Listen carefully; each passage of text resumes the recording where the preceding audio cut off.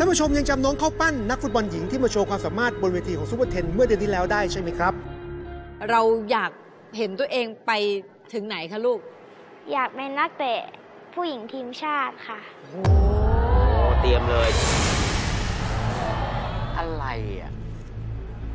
ให้เตะชนข้างบนอย่างเงี้ยเหรอ ทางคณะกรรมการครับ เรามีห่วงสีแดงๆครับข้าวปั้นต้องยิงให้โดนระหว่างที่ห่วงผ่านเป้าสีแดง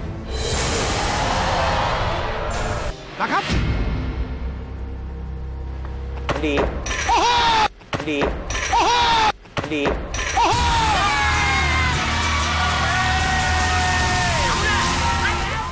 มาดามแป้งคะหนูจะไปถึงบอลโลก และจะสู้เพื่อทีมชาติไทยได้เลยค่ะ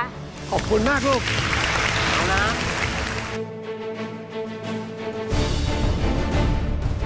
หลังจากออกอากาศไปปรากฏว่ามาดามแป้งนวลพรรณผู้จัดการฟุตบอลหญิงทีมชาติไทย ได้มีโอกาสเห็นคลิปนี้ และประทับใจในความสามารถของน้องข้าวปั้น ประจวบเหมาะกับทางมาดามแป้งมีสัมภาษณ์ที่สถานีเวิร์กพอยต์ทางสถานีจึงได้เชิญน้องข้าวปั้นมาพบกับมาดามแป้ง วันพิเศษสุดวันนี้จึงเกิดขึ้นครับ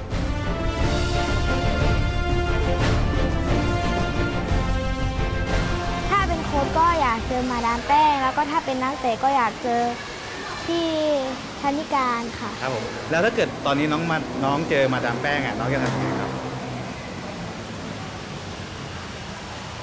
น้องลองหันหลังไปดูสิครับ ตอนนี้หันหลังไปทางนั้นค่ะป้า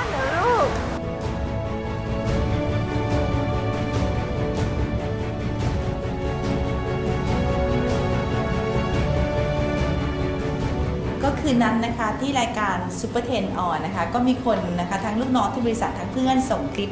น้องข้าวปั้นมาให้นะก็รู้สึกตื่นเต้นแล้วก็อึ้งด้วยกับความสามารถของน้องเพราะเก่งมากที่เลี้ยงบอลนะคะข้ามไข่ไปแล้วก็ช็อตสุดท้ายที่น้องขอลองสี่ครั้งนะคะก็เป็นอะไรที่ประทับใจ แล้วก็ที่อึ้งก็คือว่าน้องเขา